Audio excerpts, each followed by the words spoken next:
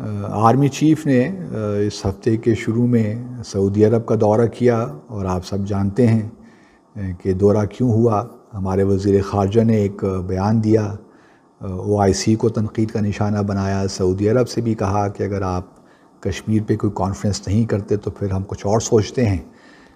तो damage control एक visit था। अब हम पहले भी इस, इसके बारे में बात तो कर चुके हैं, लेकिन आ, मैंने पहले भी यही कहा था कि अगर ये ऑफ़ द कफ रिमार्क से वज़ी ख़ारजा को के तो बड़े गैर मुनासिब रिस्पॉन्सिबल थे।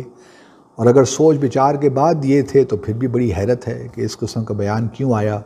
हम मतलब सऊदी अरब पे पब्लिक प्रेशर बिल्ड करना चाहते थे। अगर पहले थोड़ी बहुत आ, कुछ अगर इम्कान था कि ओ आई सी हमारे साथ खड़ा हो या सऊदी अरब खड़ा हो वो तो आपने बिल्कुल ही ख़त्म कर दिया। उस इम्कान को, क्योंकि सऊदी अरब कभी भी ये नहीं चाहेगा कि उसको ये मालूम, ये दुनिया देखे कि उसने पाकिस्तान के प्रेशर में ये काम किया है। सऊदी अरब की जो माइंड सेट है, उसको समझने की ज़रूरत है। अब आर्मी चीफ नाजीन गए हैं और होता तो यही है कि बड़े प्रिपरेशंस के साथ जाते हैं, क्योंकि ये विज़िट हंगामी दौरा था। लेकिन मुझे ये बात पे हैरत है कि मोहम्मद बिन सलमान से मुलाकात क्यों नहीं हुई? क्योंकि आर्मी चीफ़ की मुलाकात तो हुई थी सऊदी अरब के सफ़ीर जो पाकिस्तान में हैं उनके साथ।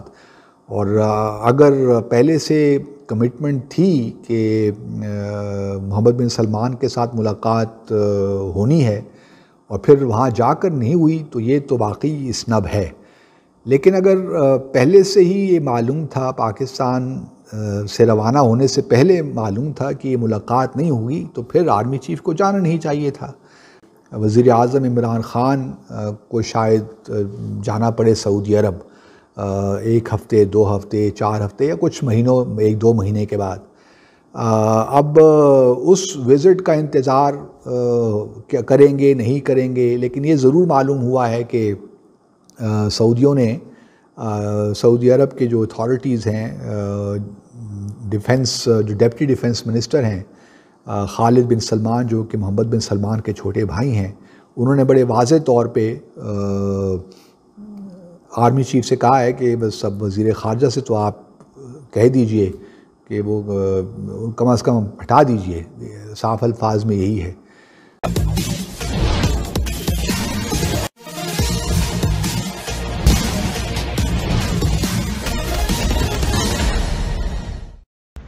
चीन के इशारे पर पाकिस्तान भारत को विश्व राजनीति में अलग थलग करने की कोशिश कर रहा था, पर हुआ उल्टा।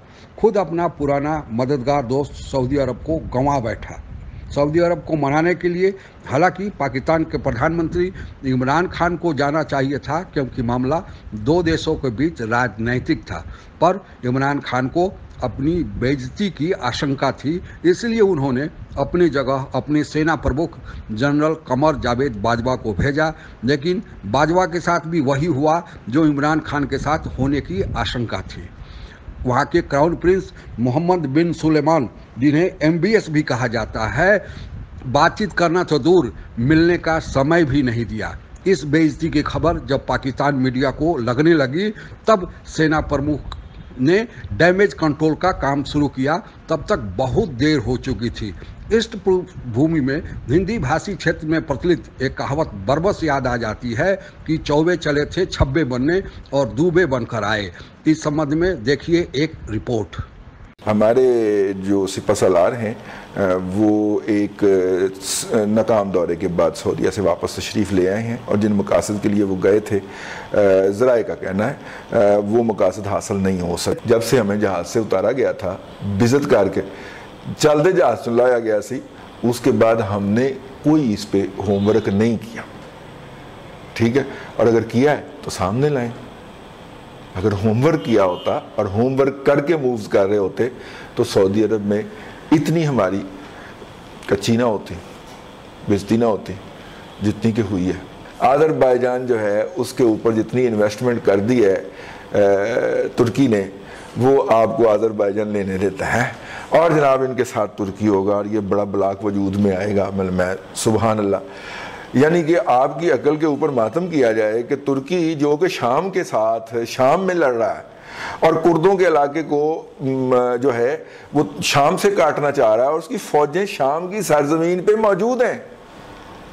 वो एक ब्लॉक में आ जाएगा शाम के साथ। मैं आपकी अकल के जनाजा पढ़ना चाह रहा हूँ सिर्फ़। नारा तो हमने लगा दिया कि जी हम एक नया प्लेटफॉर्म या एक नया, जो है, वो फोरम बनाने जा रहे हैं। ठीक है? वो आई के मुकाबले में देख लेंगे आपकी ऐसे ऐसे हमारा होमवर्क ही नहीं है।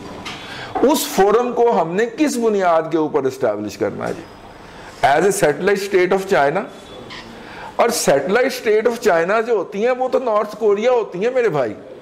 और नॉर्थ कोरिया के अंदर इस वक्त लोगों की, आवाम की, अफराद की, इनफरादी आज़ादियों की क्या सूरत हाल है, वो मुझे कुछ कहने की ज़रूरत नहीं है। भाई चाइना के अंदर तो फिर भी कुछ सी एन एन चला जाता है।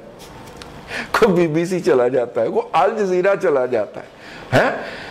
चाइना के अंदर तो फिर भी चला जाता है। लेकिन नॉर्थ कोरिया के अंदर तो ऐसा कोई हमने तकल्लुफ रखा ही नहीं हुआ।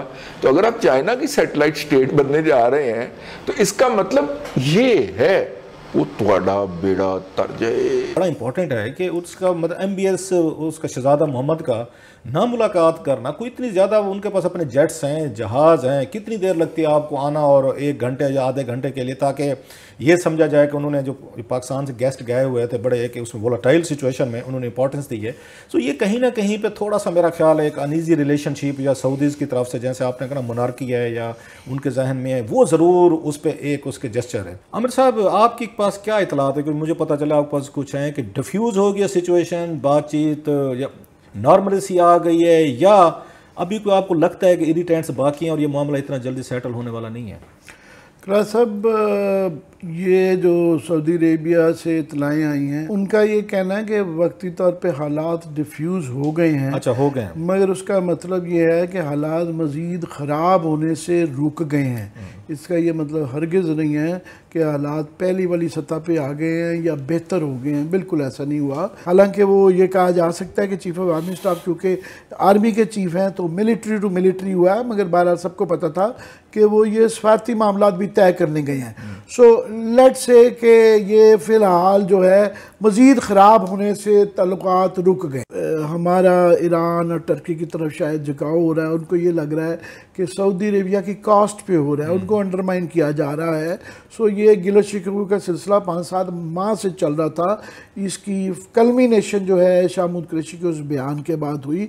उनको इस बात पर एतराज़ है कि आप उसको तुर्की को या तैयब अर्दगान साहब को, जिनके साथ इनके मसाइल हैं, आप उनको ज़्यादा ऊपर लेके जा रहे हैं, जो पाकिस्तान मतलब वो बार, बात ऑबियस भी है ये सारा मामला ख़राब होना शुरू हुआ अक्टूबर से। लास्ट ईयर जब प्राइम मिनिस्टर ऑफ़ पाकिस्तान ने वहाँ पे जाके यूएन में स्पीच की और तई बर्दगान साहब को उन्होंने बहुत बड़ा वो किया, उनके साथ तस्वीरें हैं सारी चीज़ें। मोहम्मद बिन सलमान जो है, इसके ट्वेंटी थर्टी तक, वो कहते हैं बहुत सारे पाकिस्तानी हमने अभी मंगवाने भी हैं जो आएँगे। ऑलरेडी वो कहते हैं पाँच दस लाख से ज़्यादा पाकिस्तानी वहाँ काम कर रहे इतने लोग तुर्की में हमारे काम नहीं कर रहे। सो सऊदी इस बात पे आते हैं कि हमने सबसे ज़्यादा आपको वो किया हुआ फंड किया हुआ है, हमने तेल दिया, हमने पैसे दिए, हमने लाखों पाकिस्तानियों को नौकरियाँ दी हुई है, मजीद देंगे। जब हमारी तुर्कों के साथ मसले चल रहे हैं सऊदी उस पर भी नाराज़ हुआ है कि जहाज़ हमने दिया रायल शहजादे ने दिया। हमारे जहाज़ पे गए हैं और लीडर आपने जाके तय बर्दगान साहब को वहाँ पे बना दिया। ये उनकी कंसर्न थे जो बाद में खबरें भी आई कि रस्ते से उन्होंने वापस बुलवा लिया अपना जहाज़। तो उसके बाद तो बात समझ में आती है कि उस वक्त हम नहीं मान रहे। मतलब आपने ज़रूर उसी दिन कोई ना कोई यहाँ पे शामुद कुरैशी साहब ने उन्होंने अपना मेला रचा लिया कि अगर उधर वो सऊदीज़ में गए हुए हैं D G I S I और आर्मी चीफ तो हम भी ये मैसेज दे रहे हैं क्योंकि कतर का और सऊदीज़ का हम सबको पता है कि क्या उनका है। ये कुरैशी साहब को इससे तो ये पता चल रहा है कि, कि ये तो टीम वर्क है लोग तो कह रहे थे शायद कुरेश साहब ने अकेले ऑपरेट किया but it seems team work एक दिन इंतज़ार नहीं हो सकता था। ये एक इशू को भी उन्होंने नोट किया ज़रूर है कि उसी दिन ही जब चीफ ऑफ़ आर्मी स्टाफ की मुलाकात वहाँ पे जारी थी तो यहाँ कतर के एम्बेसडर के साथ मिले थे। आगे पीछे किया जा सकता है। तो वो भी इन चीज़ों का सिम्बलिज़म देखते हैं। तो बिल्कुल थोड़ा सा ये भी उन्होंने नोट किया है। और ये हमें सऊदी अरेबिया से बातचीत के दौरान पता चली। हमने तो गौर, खुद भी गौर नहीं था किया कि ये मुलाकात वो बात पल्ले पड़ी? मेरे तो ऊपर का सांस ऊपर और नीचे। मैंने कहा कि, हैं?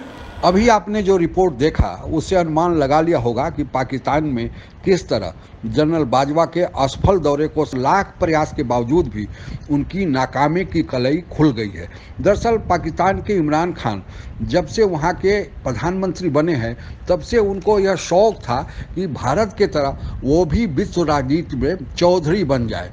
लेकिन वो यह भूल गए कि इसके लिए काबिलियत के साथ साथ देश का आर्थिक रूप से मज़बूत होना भी ज़रूरी है। इसी बीच भारत ने 5 अगस्त 2019 को जम्मू कश्मीर का विशेष दर्जा समाप्त कर दिया।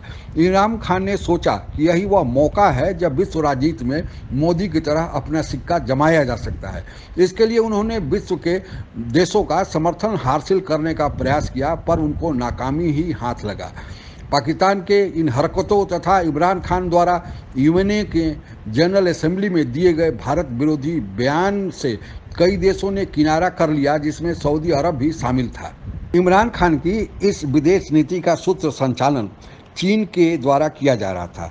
इसी बीच चीन के कहने पर पाकिस्तान ईरान से दोस्ती बढ़ाना शुरू किया ताकि भारत को ईरान से दूर किया जाए, जबकि ईरान और सऊदी अरब के बीच पुरानी दुश्मनी पहले से ही चली आ रही है। अपनी सेखी बघारने में पाकिस्तान के विदेश मंत्री शाह मोहम्मद कुरैसी कैसे पीछे रहे, उन्होंने अपने बड़बोलेपन में यह बयान दे दिया कि अगर सऊदी अरबिया जम्मू कश्मीर के मुद्दे पर ओआईसी की बैठक नहीं बुलाता है तो वे समानांतर ओआईसी के गठन के बारे में सोचेंगे। यह बयान आग में घी डालने का काम किया।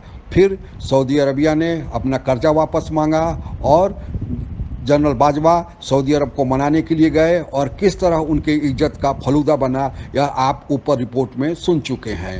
यह सब देखकर शायद जनरल बाजवा यह सोचते होंगे कि बड़े बेआबरू होकर तेरे कूचे से हम निकले। गणेश चतुर्थी पर आप सबों को मंगल कामना, धन्यवाद, जय हिंद।